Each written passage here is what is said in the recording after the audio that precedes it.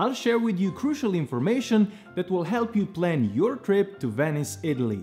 In this video, we will cover when is the best time to visit Venice, how many days to plan in Venice, where to stay, how to get around the city on water, how safe is Venice, and much more. Hi guys, I'm Rok and I spent last 9 years traveling around Europe as a tour guide and I want to share with you my Venice travel tips.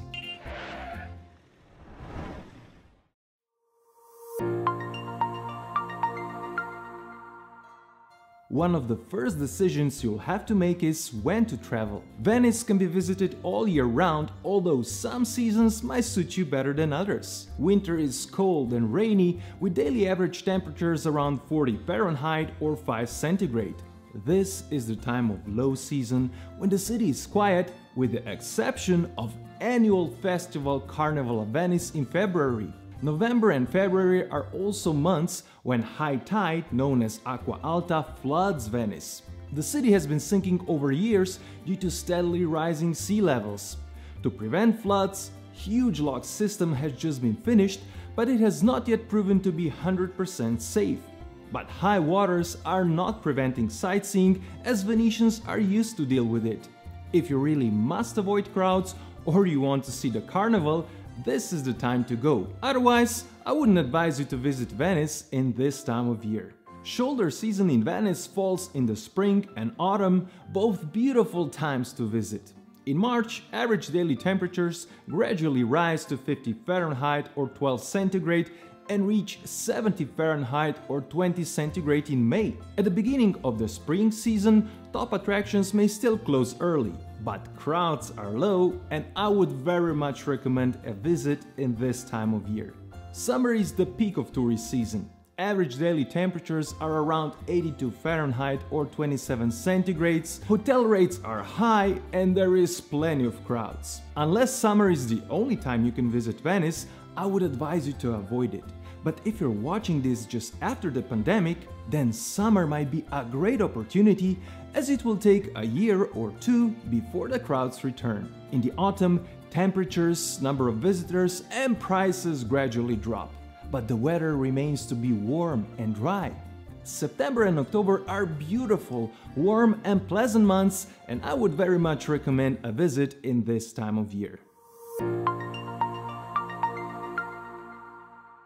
Once you know when to go, you have to decide for how long to go. How many days in Venice is enough?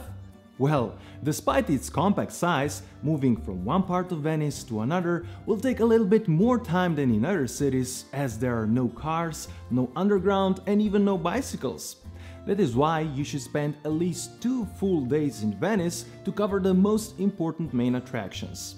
On the third day, you can visit few of the surrounding islands like Burano, Murano and Lido or explore some other amazing but less famous hidden gems. For majority of people, 2 to 3 days in Venice will be enough.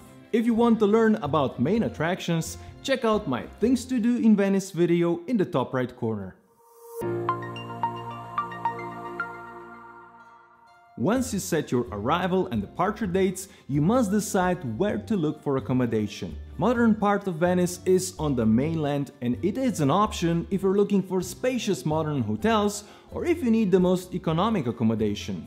If that is not the case, then I would advise you to look for accommodation in the historic city center on water, as it's very time consuming to get from the mainland to the famous hotspots. The historic city center is divided into six areas, and you can find excellent hotels and many Airbnb options in all six neighborhoods.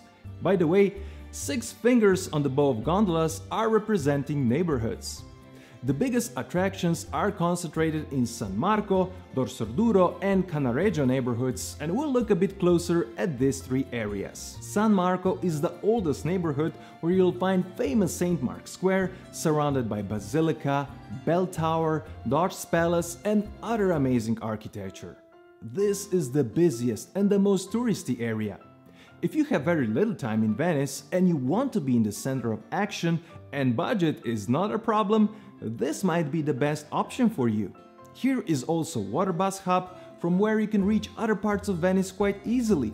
Staying in this neighborhood could minimize your walking around Venice. Dorsoduro neighborhood is located opposite of San Marco on the other side of the Grand Canal. The neighborhoods are linked by Accademia Bridge. This is another expensive and popular area, although it is less crowded.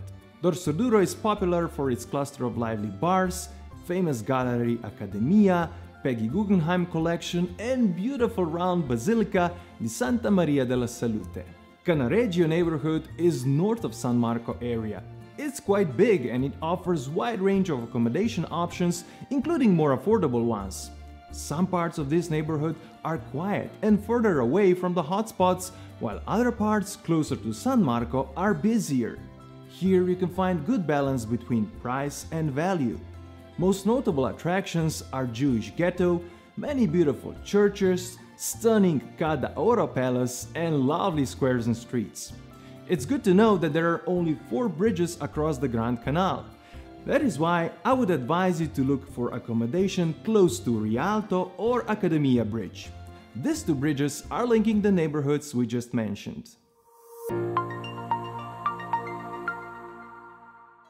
Most visitors fly into International Venice Marco Polo Airport. From there you have several options how to get to historic city center. First, you have a bus number 5 known as Aerobus. Airport is its first stop and the edge of the historic city center is the last stop. If you take a taxi, it will drop you off at the same spot as the bus since the roads end right there. Alilaguna water bus or private boats can get you right into the heart of the old town as airport has its own dock. Orange water bus line takes you right to Rialto or St. Mark's Square. Once you reach Venice Old Town, there are no buses, no cars or bicycles and the question is, what are the best ways to get around? You will have to walk as pedestrian streets are linked with over 400 bridges.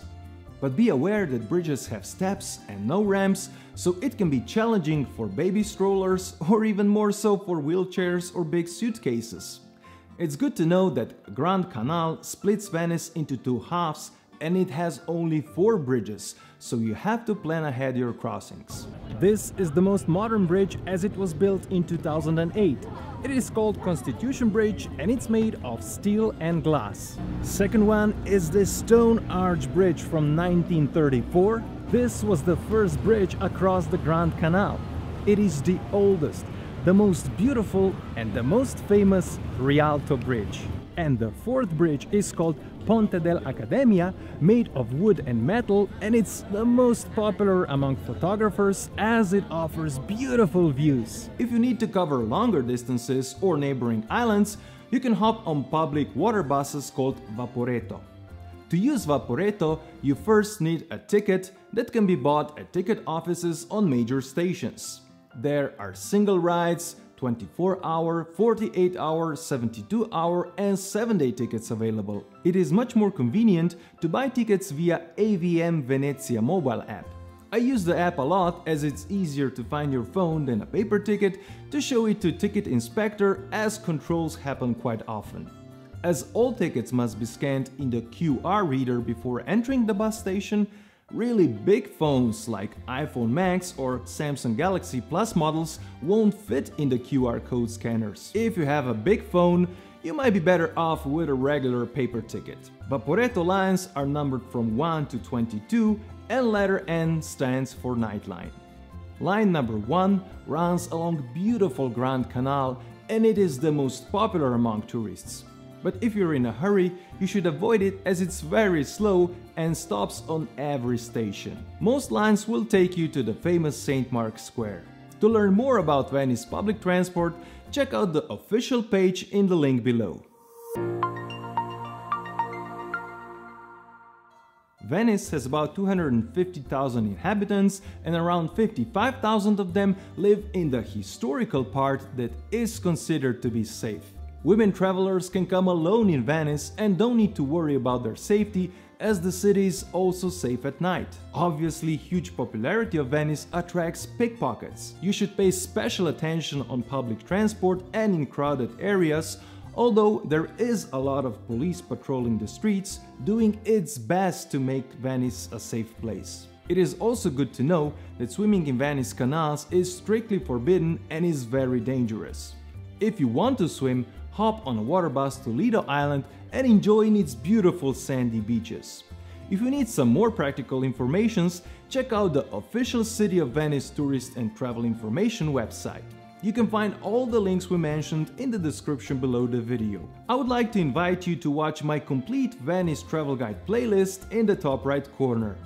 If you like this video, please give it thumbs up as it really helps. Share your questions, your own tips and tricks about Venice in the comments below. And don't forget to subscribe and hit the notification bell so you won't miss my future travel videos. Thanks for watching and see you next time.